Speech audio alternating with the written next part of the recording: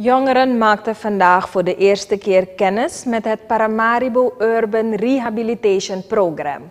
In verband met deze kennismaking werd er aan verschillende instituten een workshop verzorgd. Het gaat hierbij om het NATIN en diverse opleidingen die verbonden zijn aan de Antonecom Universiteit. De redactie sprak enkele studenten over de workshop. Heel interessant. Uh, ik ben zelf verbonden als docent bij Studiedirecte Infrastructuur. En we kennen wel het project, we hebben ook al eerder uh, samengewerkt.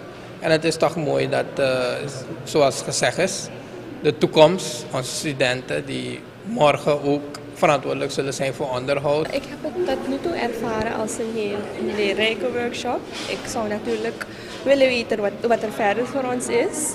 En um, ik ben blij om te weten over dit project. En ook ben ik blij om te weten dat wij een bijdrage, wij als studenten, een bijdrage kunnen leveren aan dit project.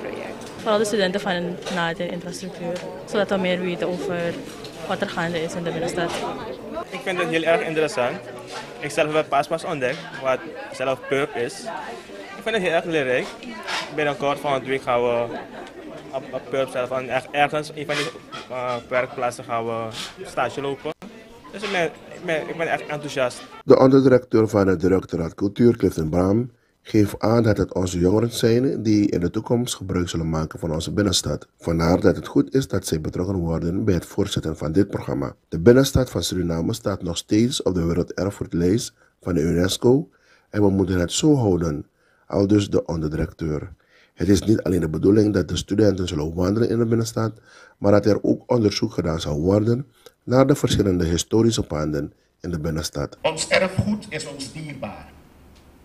Met wat wij hebben aan erfgoed zijn we heel erg rijk. Maar soms is dat besef er niet echt. En de binnenstad, de historische binnenstad van Paramaribo, is ook een geweldig erfgoed.